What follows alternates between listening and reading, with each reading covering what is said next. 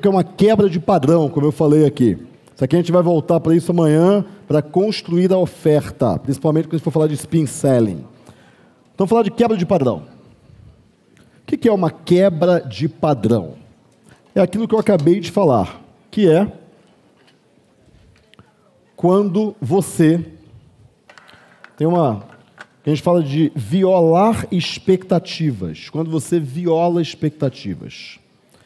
Vamos entender o seguinte: o teu cliente, ele está caminhando pelo mundo, tranquilo, serelepe, pensando na vida, e se você não fizer algo que tire ele do padrão que ele vive, se você não fizer algo que viole a expectativa dele, ele não vai prestar atenção em você. Não vai. Porque tem estímulos demais. Ele está ignorando a maior parte dos estímulos. Por quê? Porque é muita coisa. Você tem que fazer alguma coisa que ele olhe e fale: opa, o que, que é isso aqui? Isso é quebra de padrão. Agora, vou botar alguns exemplos aqui. Por exemplo, é, pegar uma frase aqui. Hum, o segredo para os ricos trocarem de carro todo ano sem perder dinheiro. Tem uma quebra de padrão aí. Primeira coisa, por quê? Porque todo mundo sabe que trocar de carro faz o cara perder dinheiro. Só que existe uma outra coisa também que a gente chama de teoria da conspiração. Os ricos são ricos porque são ricos porque eles sabem algo que eu não sei. Se eu descobrir esse tal do segredo dele, então eu também vou trocar de carro sem perder dinheiro. Existe uma teoria da conspiração ali. O segredo dos ricos para trocar de carro todo ano sem perder dinheiro. Isso viola a expectativa. Isso quebra o padrão que é: quem troca de carro perde dinheiro. E os ricos sabem algo que eu não sei. Então eu reafirmei uma crença que é: os ricos sabem algo que eu não sei, por isso que eles são ricos, e quebrei uma outra crença que é: trocar de carro faz perder dinheiro. Pô, mas o cara não perde dinheiro. Como assim? Não entendi. Quer ver uma outra quebra de padrão? Smartphones são dez vezes mais sujos do que vasos sanitários.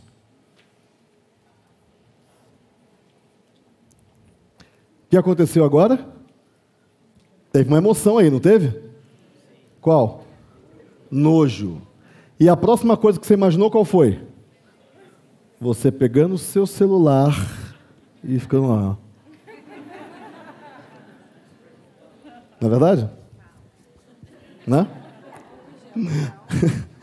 então, uma violação de expectativa, uma quebra de padrão gera uma emoção. Pode ser medo, pode ser nojo, pode ser ousadia, gera uma emoção. Porque se não viola a expectativa, se não quebra padrão, simplesmente é mais uma propaganda que vai passar pela sua frente e mais do mesmo. Você nem vai perceber. Por exemplo, como que você espera que seja uma propaganda de uma FGV da vida? Tem gente na uma, uma imagem, uma foto. Tem gente nessa foto? Sim. Como que esse cara está vestido? Terno, gravata. Qual a cor? Azul. É, é, onde que ele está? Ambiente corporativo, aeroporto. Ele não está na praia, né? E se ele tivesse de terno, gravata na praia? Já seria um pouquinho de violação de expectativa. Pô, o que é que está fazendo de terno e gravata na praia?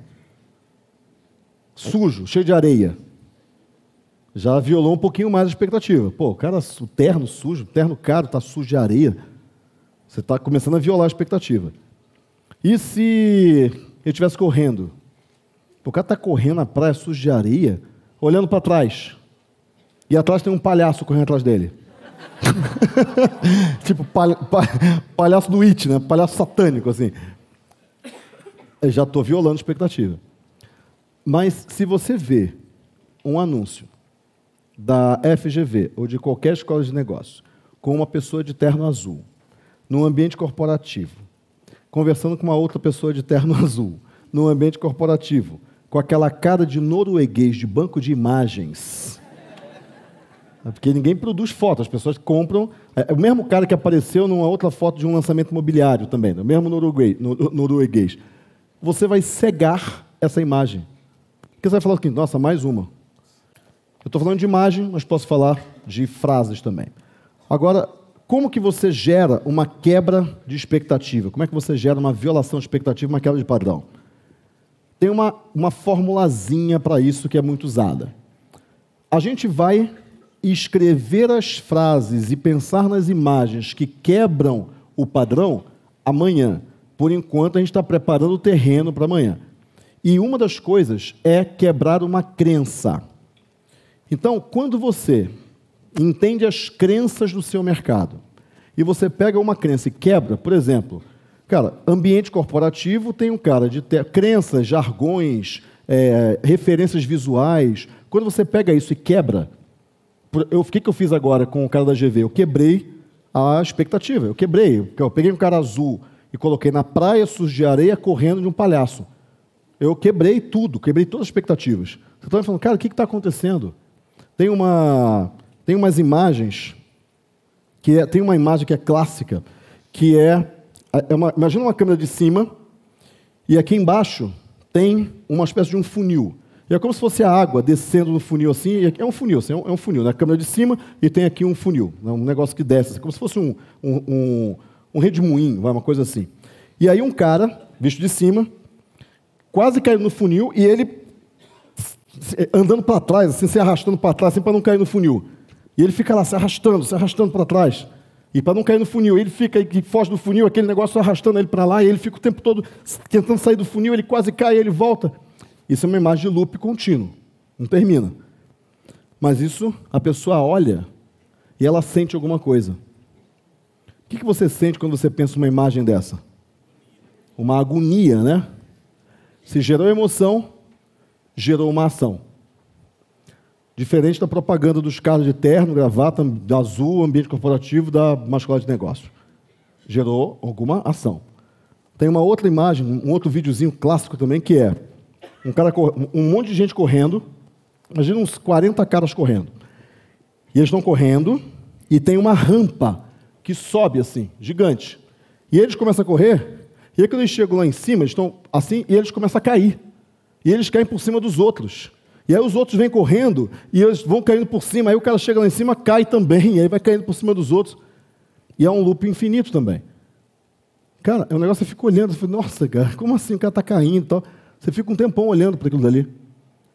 Então, a, quando você. Isso aí é uma imagem também que você sente um negócio, você tem algum sentimento ali. Quando você sente isso, você, você quer saber o que está acontecendo. E aí você vai para o texto. E aí sim você lê o que está embaixo. Com o texto você faz a ponte. Então, eu estava dando a live. Quem assistiu a live de hoje? Quem assistiu a live de hoje? Quase ninguém. Deixa eu avisar aqui, pessoal. Todo dia, às 8 e 8 da manhã, não sei porque eu escolhi esse número, mas às essa hora, né? Mas às 8 e 8 da manhã, 8 e 8, 8, 8 e 8, 8 e 8, 8 e 8 da manhã, eu faço uma mentoria ao vivo, gratuita pelo Instagram. Todo santo dia. 8 e 8 da manhã. Eu entro lá, na live, começa a entrar um monte de gente, principalmente dá umas 400, chegou a 500 pessoas mais ou menos, 8 e 8 da manhã.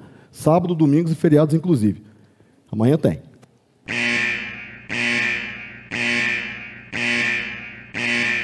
E aí eu escolho alguém ao vivo lá. Qual é o negócio de vocês? Aí um monte de pessoal fala, ah, meu negócio é esse. Aí eu escolho um negócio lá, beleza, vamos fazer isso aqui. E aí eu mentoro ao vivo ali, naquela uma horinha ali da, da live do Instagram. É bem divertido, bem legal, dá para aprender bastante.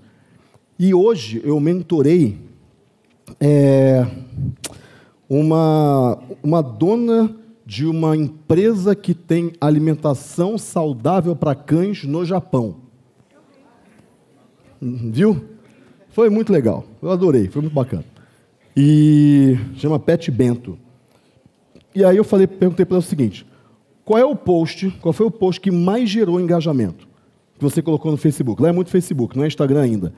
Que mais gerou engajamento? Ah, quando eu falo, quando eu falo produto, não, não gera, o que gera engajamento mesmo é eu colocar foto das minhas cachorrinhas. Foi ótimo. Então, você concorda que engajamento é uma ação? É uma ação, né? está engajando, está clicando, está comentando, está curtindo, isso é uma ação. Então, se teve uma ação, despertou uma emoção. A gente vai ver isso. Emoção é o combustível da ação. Se tem emoção, tem ação. Então você vai usar a foto da sua cachorrinha também. Claro, mas eu vendo, eu não vendo cachorro. Eu vendo comida para cachorro. Ótimo. Você vai fazer o quê? A ponte. Imagina que você coloca a foto da sua cachorrinha, ou um videozinho curto, dela comendo a comida natural.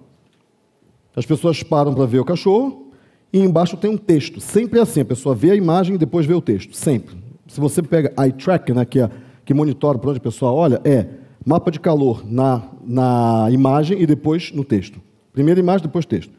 E aí o texto é: entenda por que eu só dou comida natural para os meus cachorros. Acabou. A imagem chamou atenção, o texto fez a ponte e depois o restante explica e tem um call to action. A gente vai ver isso na, no domingo. Mas tem que gerar uma emoção. Violar a expectativa gera emoção. Como que você descobre como gerar expectativas? Primeiro, descubra qual é a expectativa. Qual é o padrão? Qual é a coisa chata? E depois, distorce. Como eu fiz com o cara da GV. Entendeu? A imersão para mim representa um marco, uma divisão de mentalidade, mas principalmente de posicionamento. Quero agradecer ao Conrado por tudo que ele está fazendo em nossas vidas também. Eu recomendo muito, muito, muito. Vale muito a pena, porque vai fazer uma mudança muito grande na nossa vida e na vida de vocês também.